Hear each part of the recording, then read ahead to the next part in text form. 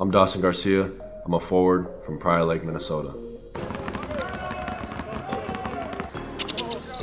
And I just, I've, I've kind of known my whole life just playing uh, all the different sports, whether it's football, baseball, basketball.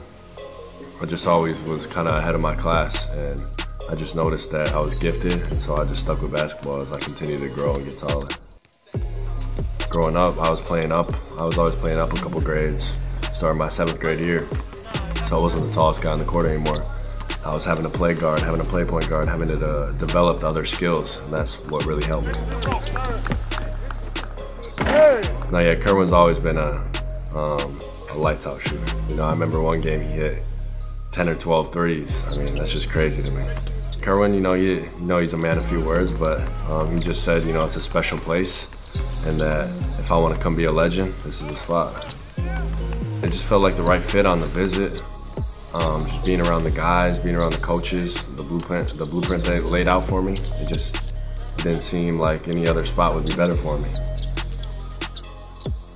It's been great. It's been a surreal experience. Um, just finally coming here and I guess learning about all the tradition and culture. It still amazes me, you know, how, how many pros come back and they still play with us, um, chop it up, give us advice, and that's something that I've really noticed. I definitely felt like I was home. You know, they've done a great job of um, making me feel like that from the jump. I mean, I just feel like I'm a playmaker. Can score the ball at will. Um, better passer than people give me credit for. Um, people see that as well.